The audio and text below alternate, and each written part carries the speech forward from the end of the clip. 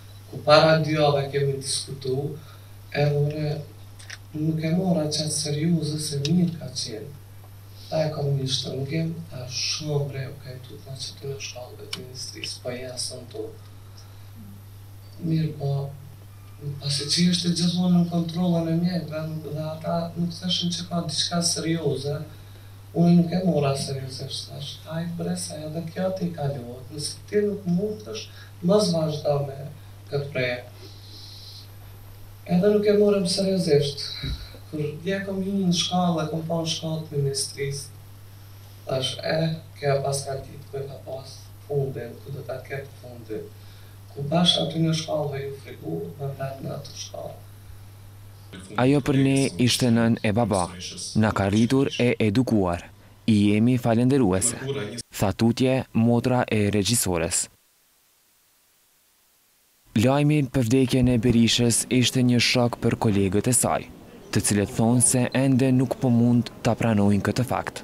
Prej dje, krejt çka kam në kokë, i kam kujtimet me të, që janë të shumta. Natyrisht, ka shumë të mira, ka edhe momente. Hala, organizmi jem nuk po mundet me, qenia jem s'po mundet me e përbi këtë fakt, me pranu këtë lajm. Bile dje kur më kanë lajmëruar, kam thanë, kjo është lajm i rrejshëm, thash, me siguri ka ndodhur ndonjë gabim, ndonjë diçka. Folsha në telefon edhe m'ushtojshin veshët, s'mujsha me s'mujsha me pranu kur një natë përpara kam komunikuar me të dhe të nesër edhe dje në mëngjes edhe Ke shumë e papritur. Në fakt, besoj që për atë se Buqja çka ka reprezentuar në jetën publike, sot e tutje veprat e saj për ata që i njohin, po edhe për ata që nuk kanë mri me i pa ose me i prek ose me i ndëgju ose me i njoft, kanë mundësi sepse ato kanë me mbet pjesë e trashëgimisë sonë kulturore. Ndërsa neve që i kemi njoft prej afër, thjesht kan me na mbush. Me thanë që ka qenë drejtoreshë që e ka ngrit në një nivel tjetër. Hmm. Ashtu një ditë e diskutova, dje se e diskutova dhe me kolege dhe thash honorarin më të mirë që më ka jep dikush në jetë më ka jep Buqja si drejtoreshë te Teatri Kombëtar, për shkak që ka qenë e guximshme me çu përpara gjanat.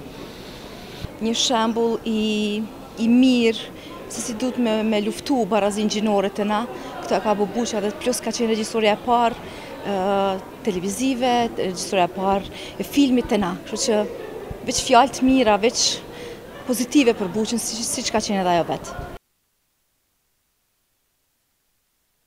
Homazhe para trupit të pajetë të Burbuqe Berishës u bënë edhe në Teatrin Kombëtar të Kosovës, ku të pranishëm ishin personalitete edhe nga sfera e politikës. Qysh në kohën e okupimit të Serbisë me apartheid të egër e deri në ditët e fundit Burbuqe Berisha nuk është ndalur asnjëherë dhe angazhimi i saj e puna e saj për teatrin dhe filmin tek ne lë gjurmë të shkëlqyera në kulturën tonë.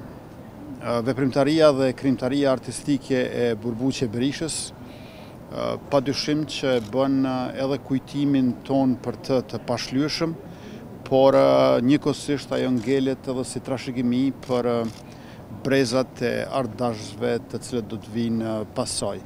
Si Ministri e Kulturës zotohemi që do të bëjmë çmos që puna e saj t'i përcillet brezave të ardhshëm, Dhe në të njëjtën kohë do të bëjmë krejt çfarë është në dispozicionin tonë që artistët e mëdhenj, në këtë rast si Burbuqe Berisha, të vazhdojnë ta kenë vendin e merituar në historinë tonë artistike.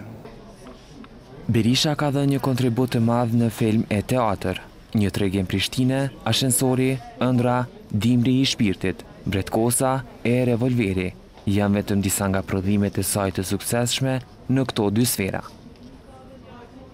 Ajo vdiq në moshën pesëdhjetë e një vjeçare.